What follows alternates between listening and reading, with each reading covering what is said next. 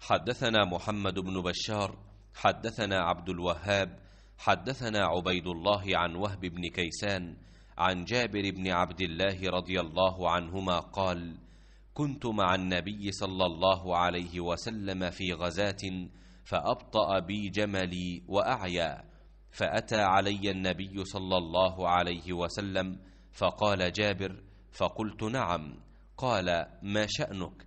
قلت أبطأ علي جملي وأعيا فتخلفت فنزل يحجنه بمحجنه ثم قال اركب. فركبت فلقد رأيته أكفه عن رسول الله صلى الله عليه وسلم. قال تزوجت؟ قلت نعم. قال بكرا أم ثيبا؟ قلت بل ثيبا. قال أفلا جارية تلاعبها وتلاعبك؟ قلت إن لي أخوات فأحببت أن أتزوج امرأة تجمعهن وتمشطهن وتقوم عليهن.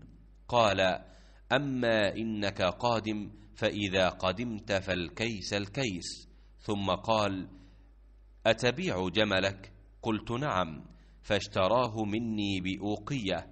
ثم قدم رسول الله صلى الله عليه وسلم قبلي وقدمت بالغداة. فجئنا إلى المسجد فوجدته على باب المسجد. قال الآن قدمت؟ قلت نعم. قال فدع جملك فادخل فصل ركعتين. فدخلت فصليت فأمر بلالا أن يزن له أوقية.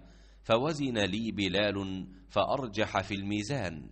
فانطلقت حتى وليت فقال ادع لي جابرا. قلت الآن يرد علي الجمل ولم يكن شيء أبغض إلي منه. قال خذ جملك ولك ثمنه.